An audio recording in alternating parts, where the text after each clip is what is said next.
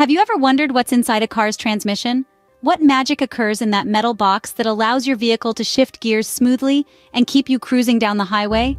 Well, today we're going to unravel this mystery and dive deep into the intricate workings of a car's transmission. Imagine the human body. Just as our heart pumps blood through our veins, the engine pumps power into the transmission. The transmission then, just like our muscles, uses this power to move the car. It's a complex system, made up of several key components, each with its specific job. First, we have the torque converter. Think of it as an ingenious middleman. It sits between the engine and the transmission, taking the engine's raw power and converting it into something the transmission can use.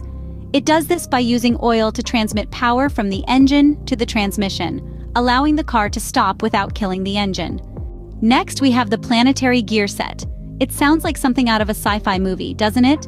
But it's actually a clever set of gears that can provide different gear ratios to the output shaft, allowing the car to go at various speeds. It's built as a system of gears orbiting around a central or sun gear, hence the name. Then there's the transmission fluid. This is the lifeblood of the transmission. It cools, lubricates, and helps in transmitting power from the engine to the transmission.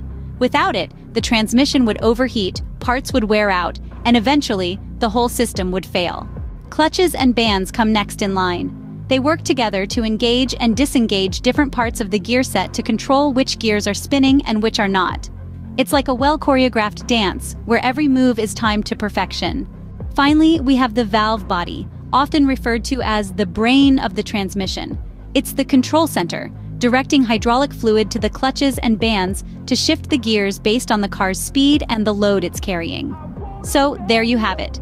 A car's transmission is a marvel of engineering, a symphony of moving parts working together to keep you moving forward.